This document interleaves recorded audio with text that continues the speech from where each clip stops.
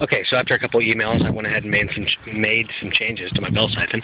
Um, I replaced the one and a quarter um, with a two-inch bell siphon, made it a little bit taller uh, than the standpipe, and I went ahead and cut some holes in the side uh, with a hacksaw. And it does it does seem to empty a, a, lot quicker.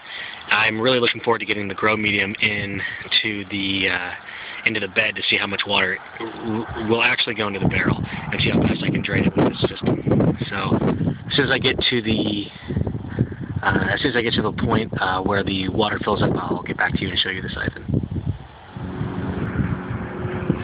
Okay, so as you can see, the water level is about to reach the top of the standpipe, so I'm going to go ahead and uh, put my bell siphon over it.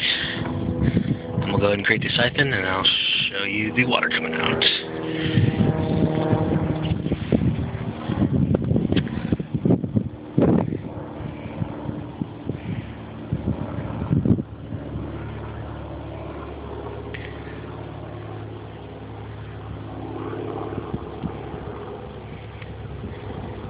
We're starting to see a little bit of a dribble coming out.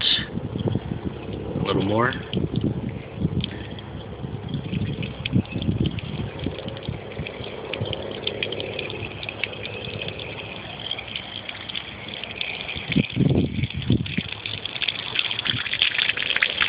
And there's the full siphon. Quite a bit of water. shooting out pretty good. So I'm hoping that'll drain the grow beds pretty quickly once the gravel's in the bed. Ultimately, I want to have about a 10 to 12 minute fill time and a quick drain, uh, according to the uh, Aquaponics Made Easy DVDs. But uh, we'll go from there when, when we reach that point. Okay, you can see now that the siphon is about to break.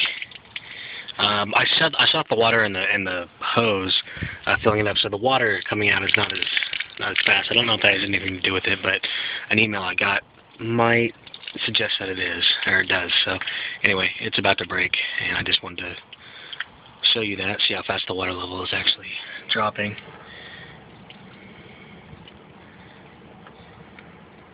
Almost there.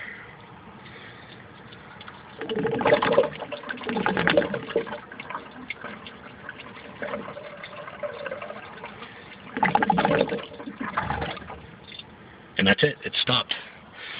Okay, um, thanks for watching, guys. And uh, if you have any questions or comments, please uh, send them over. Thanks.